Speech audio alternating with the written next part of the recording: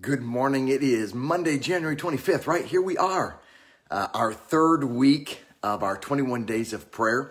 Uh, really, it's such a highlight of getting up each day and uh, leaning into this space, praying together, uh, looking at God's Word. Just a, a, great way to start our our week. So uh, today, January 25th, uh, you can find your Bible. hey, Zenny, Nanette. Um, Second Chronicles 7.14, many of you are familiar with that verse. And um, uh, we'll be praying through Second Chronicles 7.14. uh, Morning, Dana. Uh, praying for you, Dana, uh, knowing that God is going to just uh, show up in a miraculous way. Hey, Debbie and Ashley, Evelyn, Andrea, Hans, good morning, everybody. And uh, Second Chronicles 7.14, we are in Hey, Bob. Hey, Greg. Uh, good morning, everybody. Uh, we're in uh, January 25th. Wow, how has this gone so fast, right? Uh, incredible. Uh, then also, we are reading through uh, the ch- one chapter of the Bible, Greg. We're reading through Romans chapter 12. We're resetting our minds each morning. hey, Terry, every morning. Aaron, um, and um, we're just just letting it seep down into who we are, Kimberly. And this is a this is a difference maker in our in our lives, right? So we'll read uh, verse 15 uh, from Romans chapter 12 this morning, and then uh, we will read uh, Second Chronicles uh, 7 714 together, right? Hope everybody had uh, a good week. hey, Chris, good to see you this morning. Man, uh, you are um, make me smile. Remember that time you impersonated me? Uh, it was really good. Uh, hey, Michael Santini, how you been, Michael Santini? What a name, right?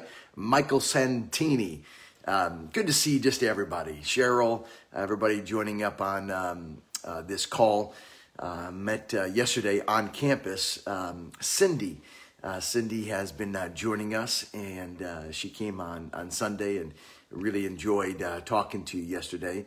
Uh, Deneen and, and Marianne and Teresa, uh, so many of us gathering up uh, uh, in this space. Hope you had a good weekend, uh, ready to finish off the month of January really, really strong. Hey, Peggy. Um, and Terry and Tammy. All right, so let's let's lean into God's word, okay, and um, and then we'll we'll have some prayer time uh, together. So in Romans chapter 12, right, you've been reading through that uh, each and every every day. Today we are reading from just verse 15, where God says uh, to to us, "Rejoice with those who rejoice, mourn with those who mourn. Rejoice with those who rejoice, and mourn with those who mourn." Hey, Janice and Jim and Caitlin and Betty. Um, it is Monday. You are right. Um, now, that's an interesting verse, and it, it, it, it might almost seem like it's too simplistic, right? Rejoice with those who rejoice and mourn with those who mourn. The reason that's important is our tendency, and for many years, um, I really saw this in the wrong way. Our tendency is to lean into someone else's life, how we feel, how I think, right? And um, rather than starting with them. Uh, in, in other words, value the other person first. If they're rejoicing, rejoice with them, regardless if you feel like rejoicing or not. You're leaning into their space. That's what that's what he's teaching us. Is that hey Barb, our role is not to try to change somebody's emotions. My role isn't to try to convince them why maybe right now is not the right time to be rejoicing. Can't you see all the things that are happening in the world? Why or or remember it says rejoice with those who rejoice or mourn with those who mourn.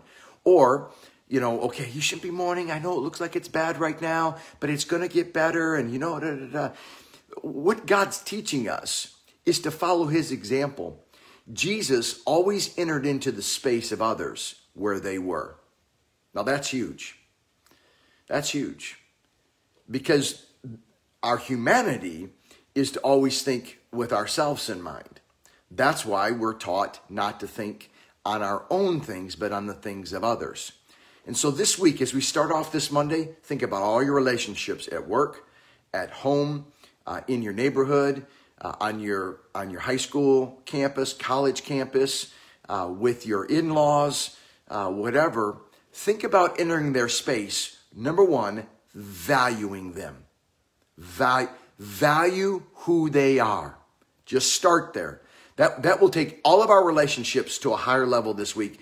Bethany, if we just, Carmen, uh, Evan, if we just step into people's lives this week and value them for who they are, and you can do that because number one, God created them. I didn't ask you to accept their behavior.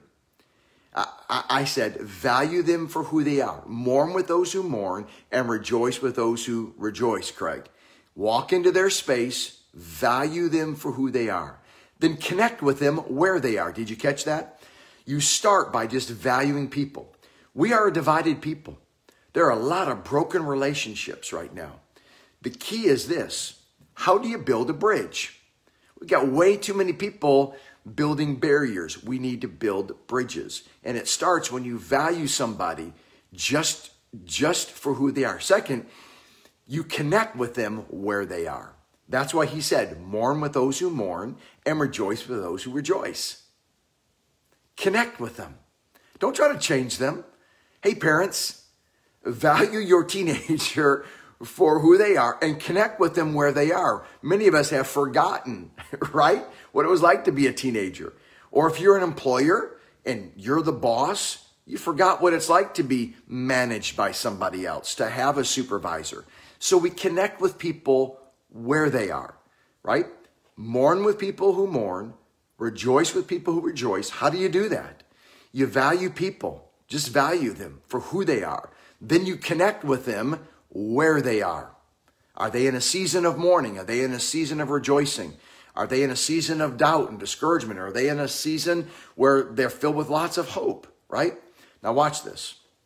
Then, right, you value them where they are. You connect with them. And you're right, Gene, the best way to connect with somebody is to listen to them. If you'll listen to them, they'll share, and then you can ask a follow up question. So value them where they are, connect with them, or value them with who they are, connect with them where they are, and then watch this. Add value to their lives. When, when, when you add value to them, you lean into that space. You be the person that helps them see how valuable they are, that they're worth connecting to. So that's just a little nugget for our relationships this week. Take it with you. We'll pray through that in a moment uh, from Romans chapter 12. But I'm, I'm just telling you, you know this to be true. Most of our stress and most of our problems in life are through relationships. And many of us, right, we're like, oh man, I wish I could have gone back and I wouldn't have said it the way that I said it.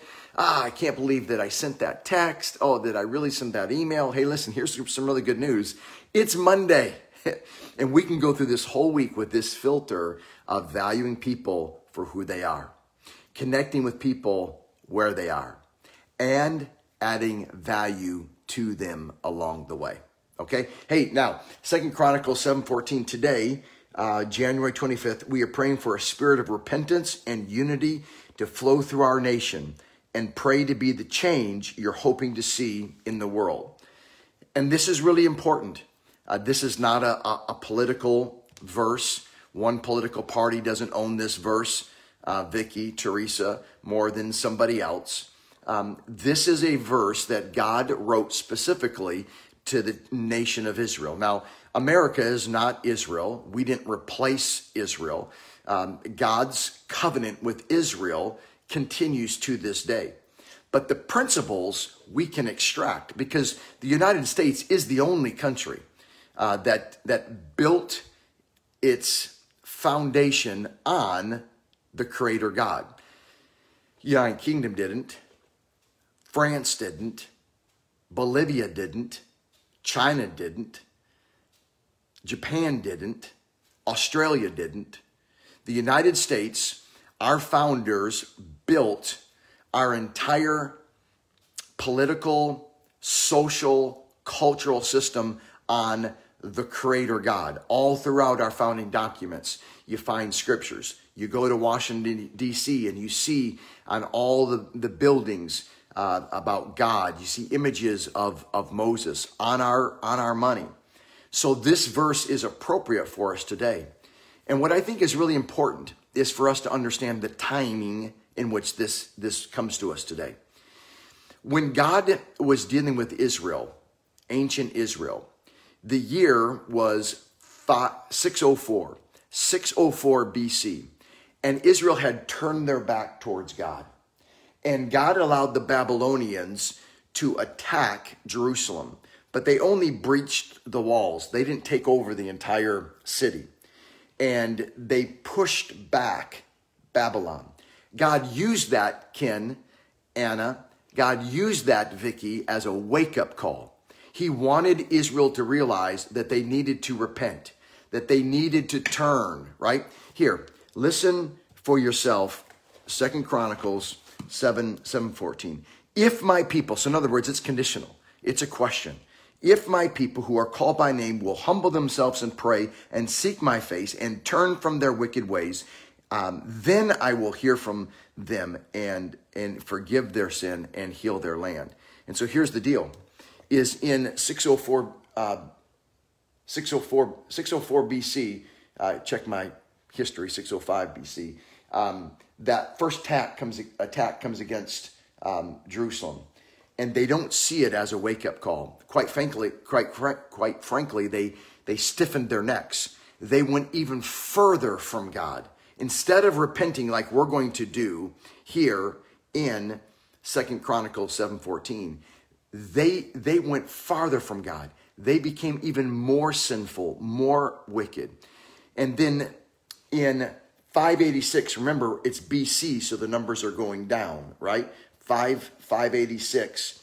19 years later, God allowed for the Babylonians to come in, not just breach the walls this time, Tom, but to destroy Jerusalem, took people into captivity, and Jerusalem was no more. Now, why do I share that with you on a Monday morning when you're barely got a cup of coffee? Is because the timing. It was 19 years. I believe with my entire heart that 9 11, America misunderstood what God was saying. We took it as a time of revenge against another nation rather than having our eyes and our hearts opened up that we had turned from God and God was calling us to repent. Just like Babylon, they breached the, the walls. Our country was, was breached, right? Breached. I've done some messages on this. You can go online and, and watch them. But 20 years later, Think about the chaos in 2020. Think about the chaos in the first three weeks of 2021. America has gone further from God since 2001. We have decided that we would stiff our necks. Instead of hearing from God and turning from our wicked ways and repenting, America's actions have actually become more sinful in those 19 years, just like Israel. Now, hear me. I'm not saying that we are Israel.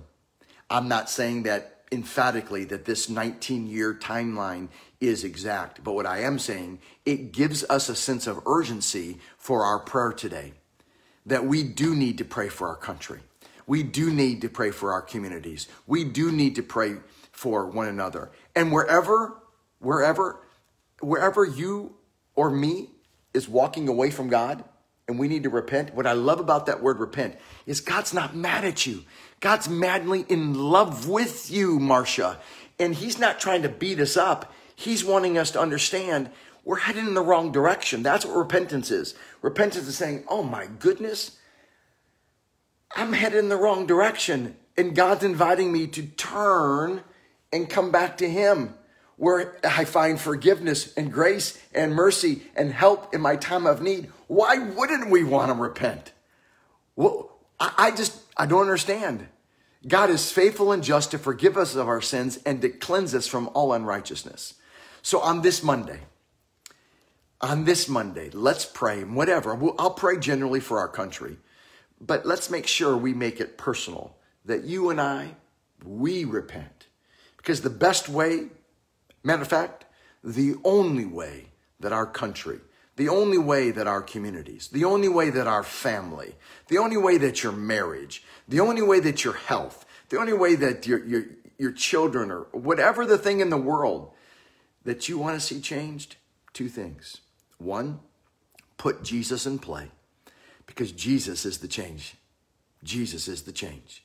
Put Jesus in, in, in, in play, and then you've got to decide to change. We've got to change. That's what repentance is. And that's what we're going to pray about. That's right, Jonathan. 1 John 1 9 is what I quoted. Okay? Is everybody ready to pray? Monday morning. We're going, we're going to crush this week because we're starting this week in worshiping our God. We're starting this week in having a conversation with God in His Word and in prayer. And I'm telling you, when you and I lift our hands to worship, when you teach your children to worship, to declare the great worth of God, you teach your children to have, and your grandchildren to have a conversation with God every day, then no matter what happens this week, they will be okay. When you declare the worth of God, and when you have a conversation with God, no matter what might happen this week, you, me, we will be okay. God, I lift my hands and I declare that you and you alone are God. You created this universe. Every single person that's lived, is living, and will live is created by you. We declare with our lips your greatness and your holiness. We declare that you are the ever present God. You are the all knowing God. You are the all sufficient God. There is nothing that you're lacking. We declare that you are the the, the perfect, true God. It's impossible for you to lie.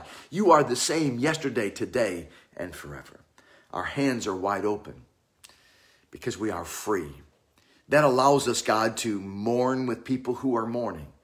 Allows us to rejoice with people who are rejoicing. We don't have to have a closed fist and try to control people. We can have our hands open to love people. We put our hands forward, God. Let us see people as you see them. Help us to value people.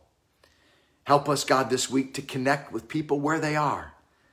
Give us the, the patience to ask questions, to discover what's really going on in their lives. Help us, God, when people are asking us questions, that we would be willing to be transparent, to let people into our lives, to believe that there's people who value us, there's people who are willing to connect with us, there's people who want to add value to our lives.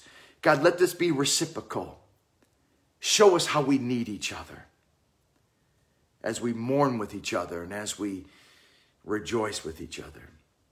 And then, God, we lean in to Second Chronicles 7 and 14.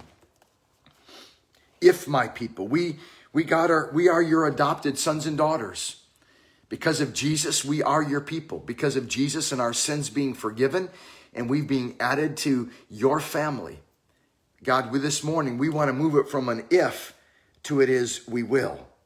We who are your people, who are called by your name, we will humble ourselves. Forgive us, God, with our appetite to be first, for our thirst to be best. The way we often minimize and marginalize people around us as we see them as competition to crush them and to control them. We humble ourselves and say that we're wrong and you are right.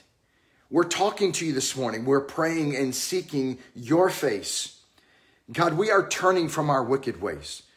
God, forgive our country the, the children that we have murdered over the decades.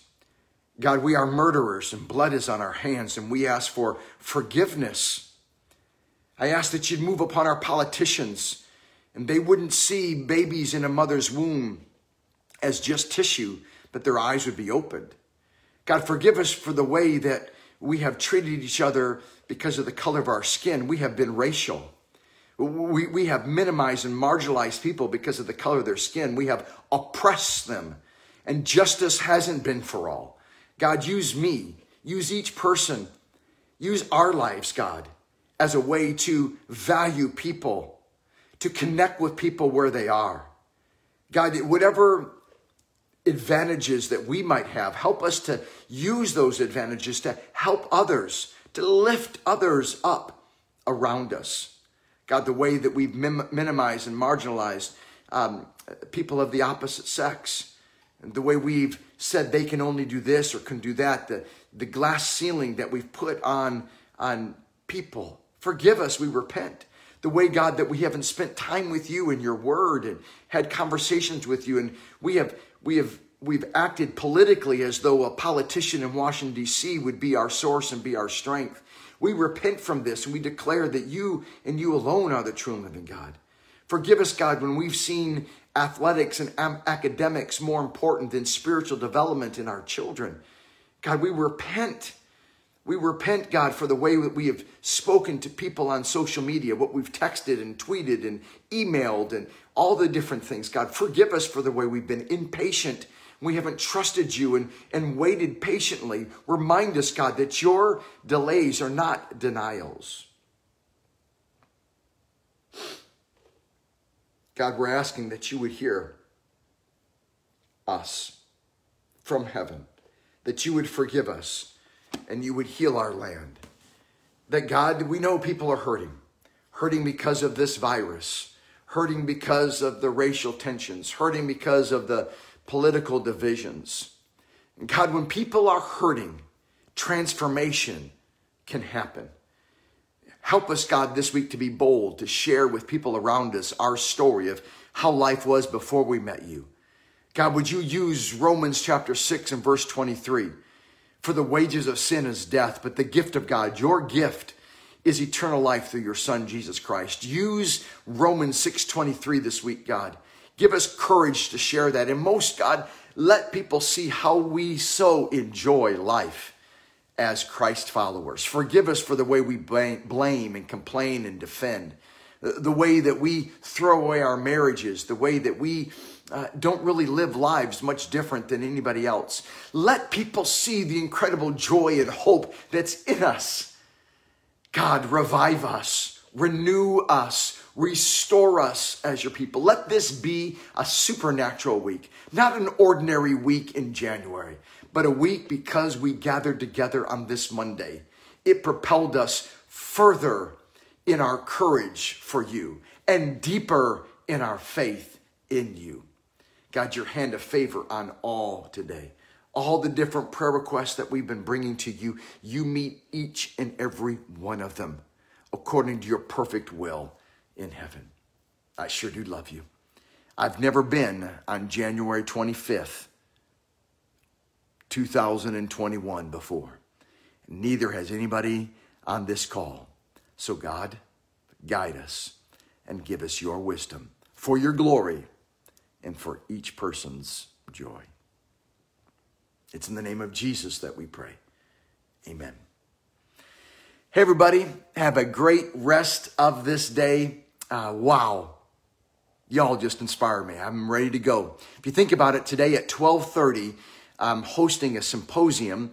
I'm going to be asked all kinds of questions um, from university students about some of the pressure points that we find in our culture today. It's not a, a spiritual uh, meeting, it's a secular meeting. I wanted to, exactly what I talked to you guys talk about. I am valuing university students today before they have careers, before they have, I'm value, and I'm entering into their space. I'm making a decision to connect with them, and I'm hoping to add value to them.